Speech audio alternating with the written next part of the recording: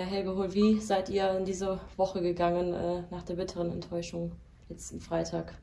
Ja, wir waren alle sehr enttäuscht, nicht nur am Abend selber, sondern es hat sich natürlich noch einige Tage auch gezogen. Äh, wir haben dann Montag das Spiel auch nochmal analysiert, äh, haben natürlich einen Tag nachher noch drüber gesprochen und haben dann aber auch gesagt, äh, das Einzige, was wir jetzt machen können, ist nach vorne schauen und ähm, ja, unsere Sache dann auch in Lippstadt noch besser machen, insbesondere auch was die zweite Halbzeit angeht, dass wir dementsprechend dann auch ein besseres Ergebnis holen.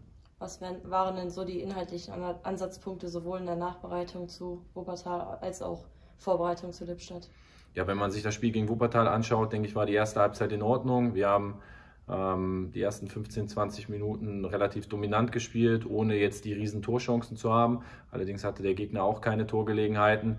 Danach war es bis zur Halbzeit so, dass wir uns ein bisschen zurückgezogen haben, aber sehr, sehr viele Umschaltmomente auch bekommen haben, wo wir drei gegen drei besser hätten ausspielen müssen. Da gab es zwei, drei Situationen von, wo wir vielleicht auch über eine Umschaltaktion das zweite Tor machen können. Und nach der Pause ähm, wollten wir sicherlich nicht so tief fallen und so passiv werden, wie es am Ende der Fall war. Aber wir hatten zu keinem Zeitpunkt den Eindruck, auch wenn wir wenig Ballbesitz hatten und wenig Entlastung, dass der Gegner richtig zwingend und gefährlich werden konnte. Und dementsprechend haben wir dann auch davon abgesehen, was umzustellen. Vielleicht hätten wir das etwas früher machen können. Ähm, Im Nachgang, klar, wenn man 2-1 verliert, äh, hätte, man es, hätte man es durchaus anders machen, machen können. Aber wie gesagt, für uns gab es jetzt dahingehend zumindest nicht die Not, dass wir nicht den Eindruck hatten, dass der Gegner jetzt alle fünf Minuten richtig gefährlich werden würde. Und jetzt geht es natürlich im nächsten Spiel da, darum, dass wir einfach insgesamt deutlich offensiver wieder agieren, dass wir wieder mehr vom Spiel haben in beiden Hälften, dass wir wieder mehr Dominanz auf dem Platz bekommen und einfach auch das, was uns ausmachen soll, dass wir das dementsprechend auch mehr auf dem Platz Platz bekommen, sprich dominanter mit und gegen den Ball spielen. Was erwartet ihr denn jetzt für ein Spiel äh, gegen Lippstadt? Ist das ein unangenehmer Gegner?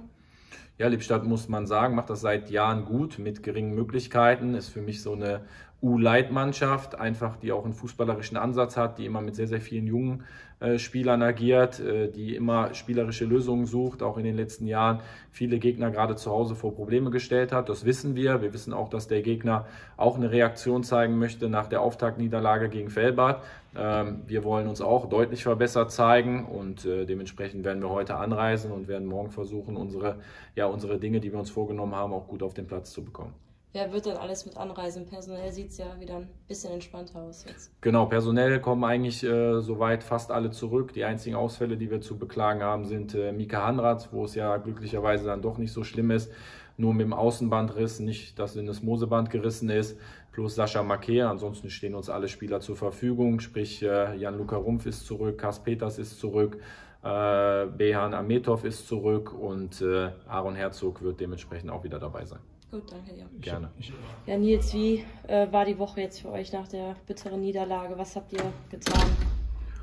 Ähm, ja, wir haben natürlich äh, die Niederlage erstmal aufgearbeitet. Ähm, war natürlich sehr, sehr enttäuschend für uns, auch für das ganze Umfeld, denke ich. Und ähm, ja, ähm, sowas ist natürlich immer sehr, sehr schwierig für die einzelnen Spieler, damit umzugehen, gerade für mich auch. Aber wir haben das aufgearbeitet, wir haben es abgeschlossen, äh, blicken jetzt positiv ähm, auf den neuen Gegner und werden jetzt sehen, dass wir auch dieses, dieses Spiel dann positiv gestalten werden.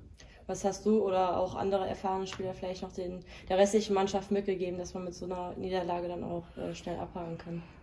Ja, ich habe jetzt auch schon das ein oder andere Spiel auf dem Buckel, genau wie der ein oder andere bei uns in der Mannschaft. Und ähm, klar ist einfach, dass gerade auch äh, aufgrund dieser Euphorie, die hier entstanden ist, ähm, dass man Ruhe bewahren muss, dass man sich auf seine eigenen Stärken einfach besinnen muss und dass wir weiter hart arbeiten und dann wird der, wird der Lohn dann auch zwangsläufig dann wieder zurückkommen.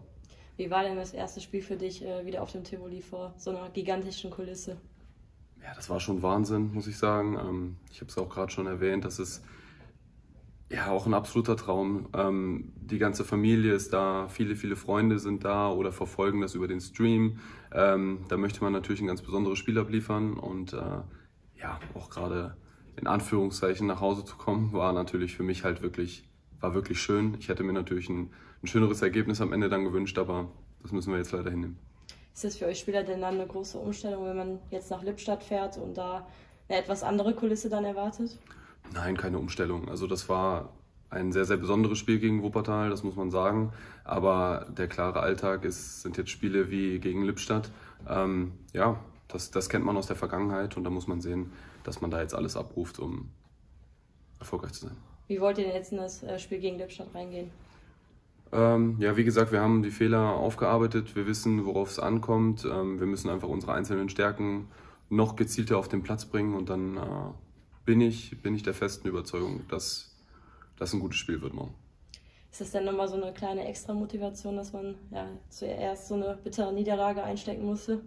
Dass man jetzt sagt, jetzt erst recht? Ähm, ja, würde ich schon sagen. Ähm, klar ist, dass, äh, dass jeder enttäuscht war und jeder weiß, dass es besser geht. Und ja, wir wollen natürlich auch jedem beweisen, dass wir eine gute Mannschaft sind. Ähm, und dementsprechend werden wir dann morgen auch agieren. Gut, danke dir. Gerne.